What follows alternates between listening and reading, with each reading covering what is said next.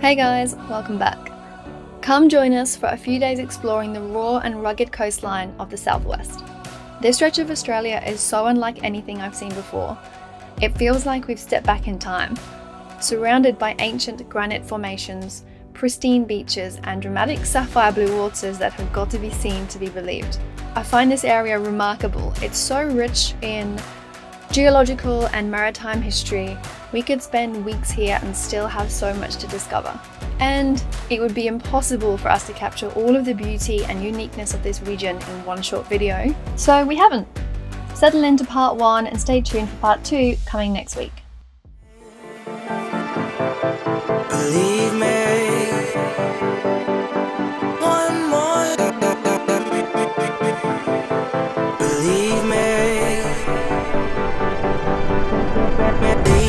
So this is all of the mess that we have accumulated up at Mark's place. Every day it seemed like we've just been taking one more thing or like a couple of things like a particular pot or a pan or some clothing or like a computer gear and camera gear up there and I brought it all back downstairs and I just didn't realise we'd taken so much stuff up there. Pots, pans, some of our bowls and cooking stuff, all our camera gear. I don't know, the stuff just coming out of every single surface. And now I've got to do the job of putting it all back where it came from. I'm looking around and I don't know how it all fit in here.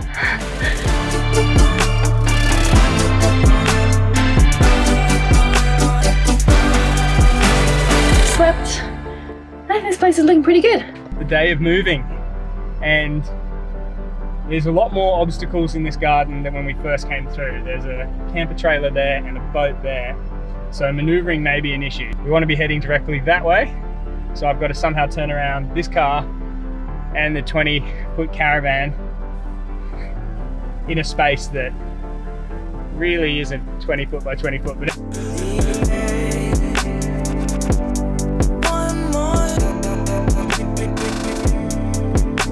And stop there. As you can see, this is exactly what I meant. To turn around, the width of the car with the caravan on really only leaves a couple of meters either side. This way, I'll literally be going back and forth, I don't know, a hundred times before I get enough movement to get around this tree and then out. This tree is the issue. And then there's the boat. So get past the tree, then the boat, then we're up the driveway. And the tree is next to an old rickety caravan. Although again, there's a little structure here as well. So the structure, the tree, the boat, we get past all of those, then we can head up the driveway.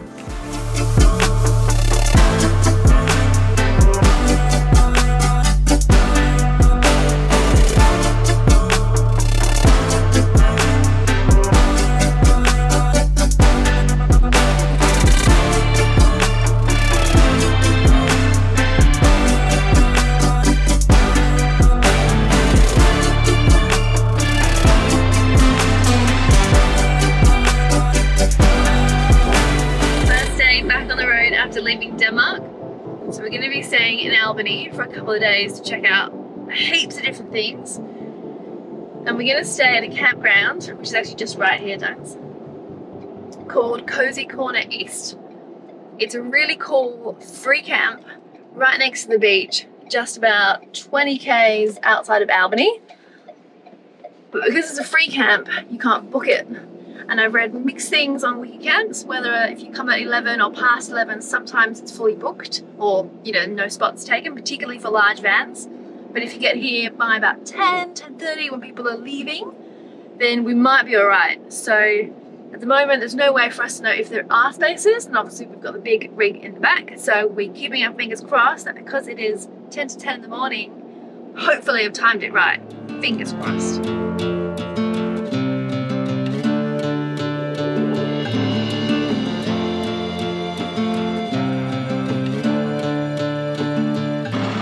doing a lap now. Pretty busy, annoyingly. The caravan was just pulling out and a guy in front of us got that spot. You're right there. Very close to that. I might go back a little bit. This is so tight. And then stop there.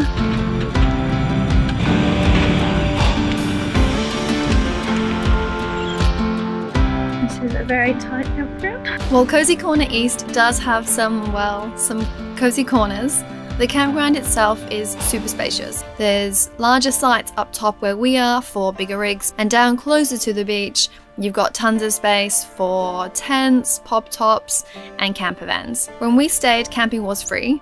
Now it's $15 per site during peak season, free for the rest of the year. Not bad for a campsite this close to Albany, this close to the beach, and with toilets and a dump point on site too.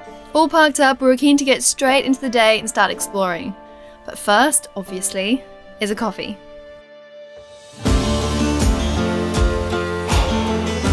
Filled up. Very hot though. Mm. That's fine. Patience. Patience is not my virtue. We know this. Particularly in the morning when all you want is your coffee, you don't want to have to wait for it. That's it. Addicted to the stuff, and you just need to wake up. It's all right. I live in the central compartment, and when we go over all the bumps, it'll just kind of slowly fill up that cup holder. Cute little place. I Yeah. really like it. I like it. This is only what five minutes drive from Hmm? the Cosy Corner Okay, at the Cozy. Corner campsite that we're at. They make it hard for you, don't they? These Cozy campgrounds? Corner campsite.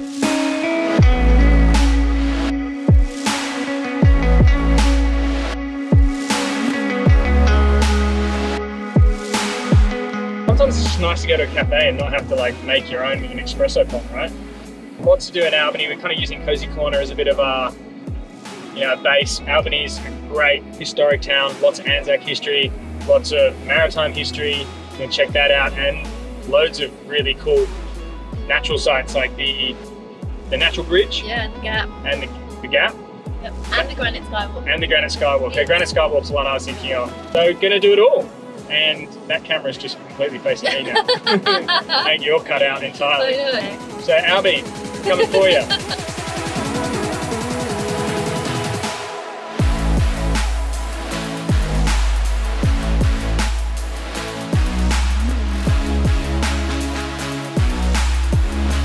Well, that's how you know you're in the country, I guess. Yeah. When uh, farmers, rather than taking them through paddocks, just run their cattle straight down the main road. Some were going one way, others going the other way. There was a car kind of in the middle, and they were just going round that. Love it. So cool.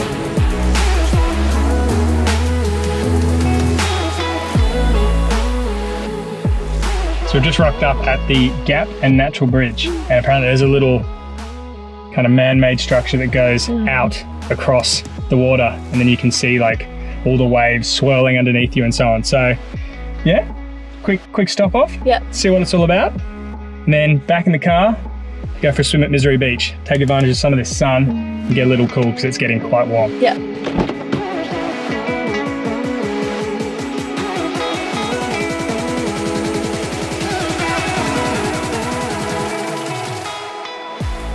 Two brothers were standing the side of the cliff. And then one was hit in the back by a spear, and the other one was hit in the back by a boomerang.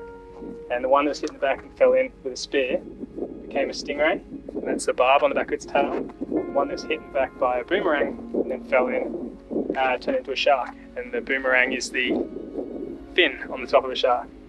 See how like indigenous people of the area explained stories to their ancestors or of their ancestors through Dreamtime stories. It's cool. Definitely gives you another perspective when you're standing up on the big gap. Kind of brings an area of like, know, spirituality, culture, um, rather than just staring into a big hole in the ground with waves crashing around, which is pretty cool anyway. But it's always nice to see the indigenous stories of a place and understand it before you go and look at it.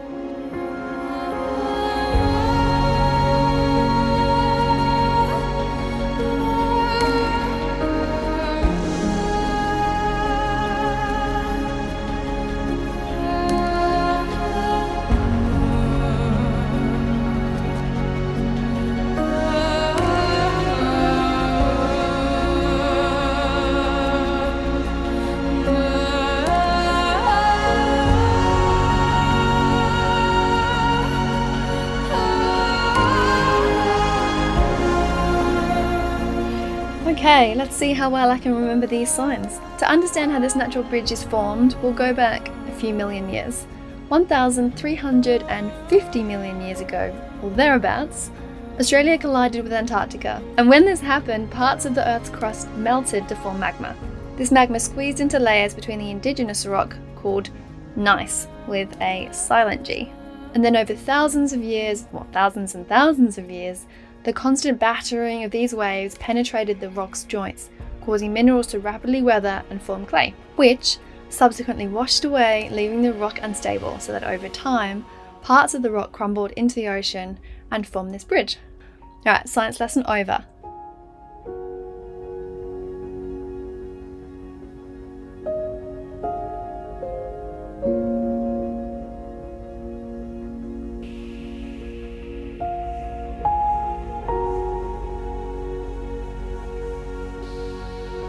Don't look down. Trying to hold it. Oh, my tummy is going crazy. Look at our feet. Whoa. That is what? That is a good drop down to crashing waves. My tummy is going, it's doing somersaults. Try looking at it through a zoom lens. When you look down, it's like it, it is the most weird sensation. Your, your, you literally your stomach skips a beat because you're like right down there with it, looking through the viewfinder, but you're also right up here above it. I can't even explain it. It's like very weird to do. Very weird. Making me very uh, not usually scared of heights, but this is making me like a little bit uh, vertigo-esque. Yeah, especially when the steel structure is actually quite thin in comparison, you know? Oh.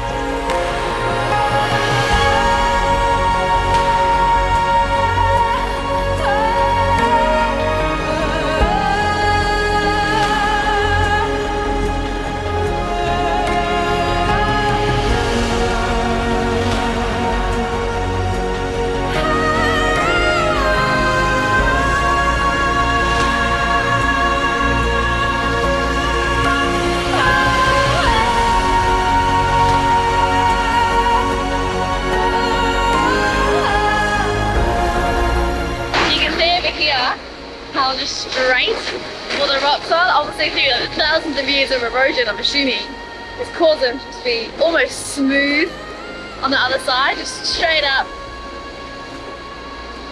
Doug's got clammy hands. The pressure of holding the camera over the edge. Oh. It's too long, too heavy.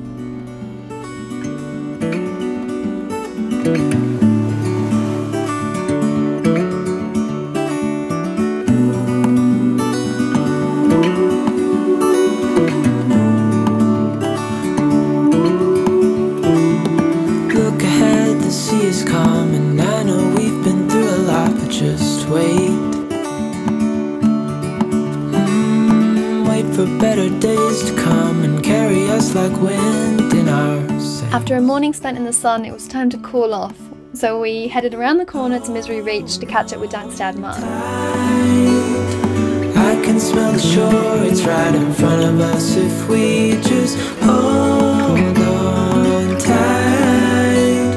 This vision that I saw is getting closer every dawn. Ooh, we are dreamers of the shore. This beach is a gem. It's protected from the winds. It's quite honestly everything you can wish for in a beach. And that dramatic granite backdrop is nuts. But this beach wasn't always so beautiful. If you're wondering, like us, where the name came from, a quick Google will reveal that until 1978, two beaches down was a major whaling station. So regularly, whale offal would wash ashore, staining the white sand and the now pristine waters a deep crimson red. But now, with all of that behind us, this beach is back to being beautiful and a pretty epic spot to relax for the afternoon.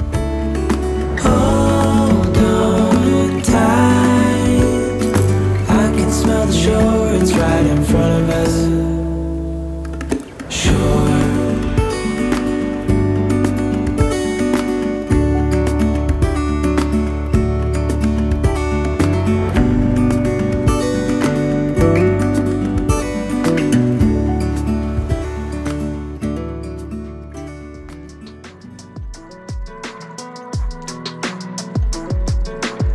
We've come up to Porongurup National Park because we want to climb the Granite Skywalk, which is a two to two and a half hour hike, walk, scramble to the top of Castle Rock, which not to be confused with Castle Rock, which is in Game of Thrones.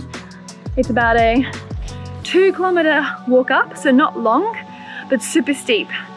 And it's essentially this really cool metal man-made skywalk staircase that goes all the way up to the top of the granite uh, boulder. And from the top, there's meant to be really cool views. Sunset's at seven, so we've got two hours to get up there. Just in time for the sunset, hopefully. If not, we'll see the sunset as we walk up to the top because we'll have potentially stopped to take too many videos and photos. Hoping that's not the case, but if it is, then we've brought our lights with us as well. So if we do walk down in the dark, at least you guys will be able to see our faces this time.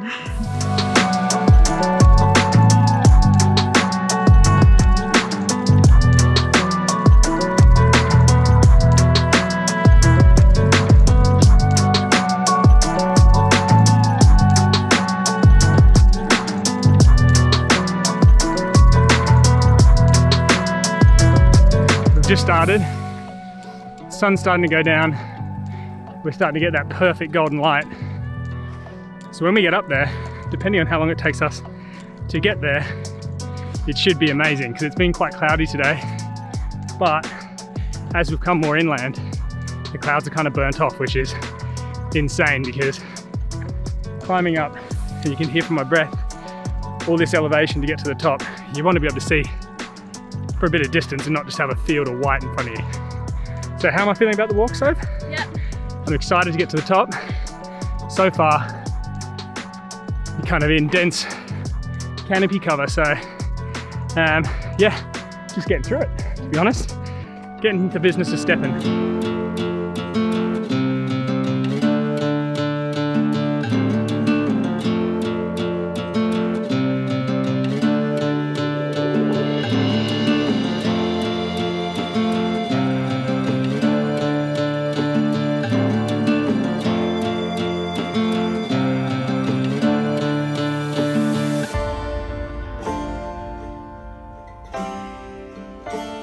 So far, really impressed with this walk. You never know when you research something and it comes up on quite a lot of the touristy websites. If it's going to be a bit clinical, handrails everywhere, paved, slabbed uh, way up.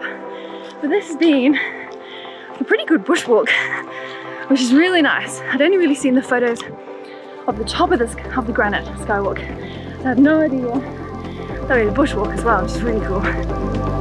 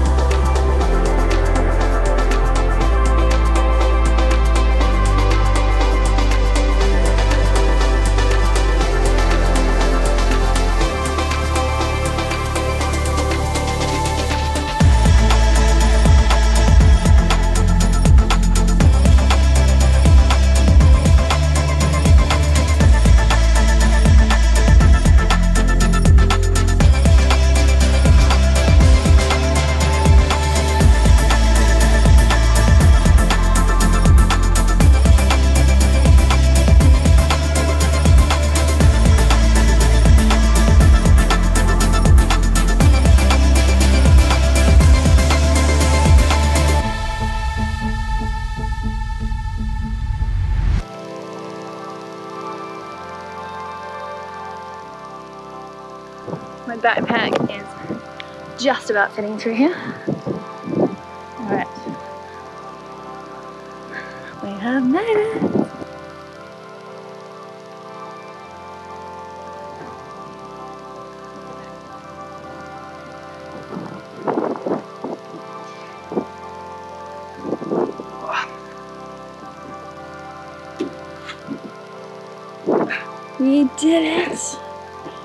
This is how it, much more harder it is with the carrying camera equipment. Should have just left at the bottom and described the view instead. Jeez, it's pretty special though, isn't it? Ooh, 360 degree views, perfectly punctuated all this granite.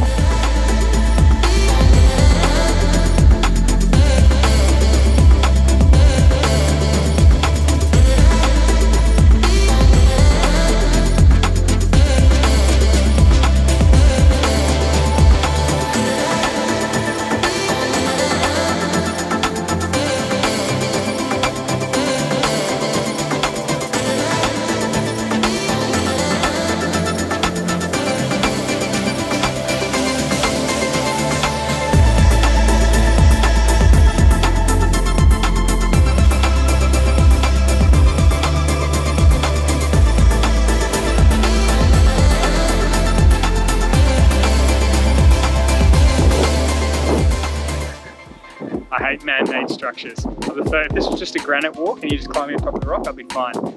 When it's all man-made, I get a little worried that on that day someone wasn't paying attention. And they don't make it easy because you can actually see through the ground. So you can see Yeah. when they say don't look down, you have no choice.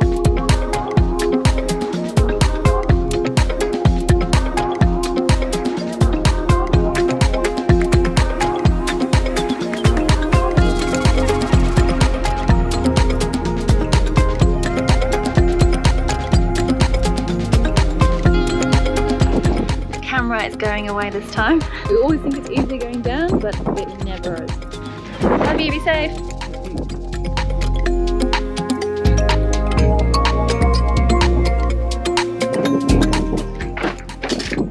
Oh, I heard that. Gimbal. Gimbal v granite. Granite is always going to win. This one's harder. I don't think I can carry the GoPro and climb on this one. So the GoPro is going to go in my mouth. You're going to get a foot shot looking down.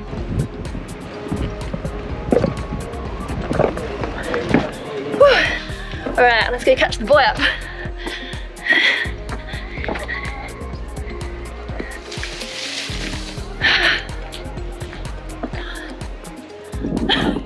Whenever I jump near the edge, Jung's always pushing me back. I haven't fallen yet, but then it only takes one time. Yeah.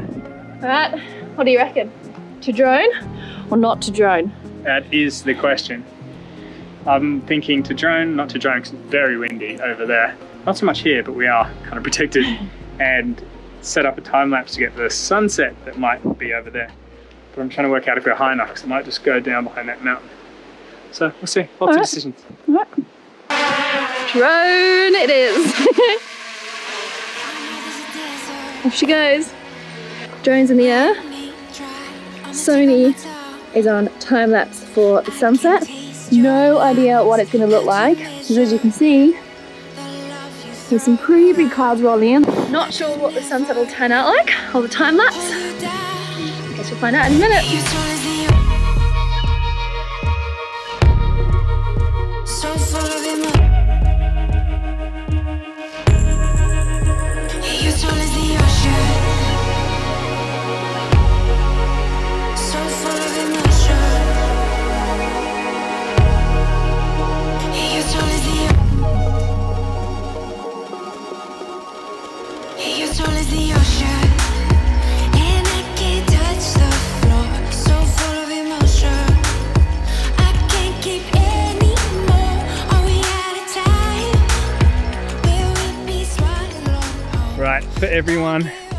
Who's been watching our videos and commenting on the fact that we need a light, this is the first time we've been uh, caught out doing a sunset and have found an opportunity to chuck on the light. So we've got a Lume Cube light sitting on top of the Sony now, which is kind of obscuring my vision. So I hadn't really thought this through. When you're walking with it in front of you and you're trying to walk down, it's actually pretty hard to see the path. So I don't know how much I'll be doing, but at least now you can see me and then I can use it to see the path when I'm not filming. So it's a win-win.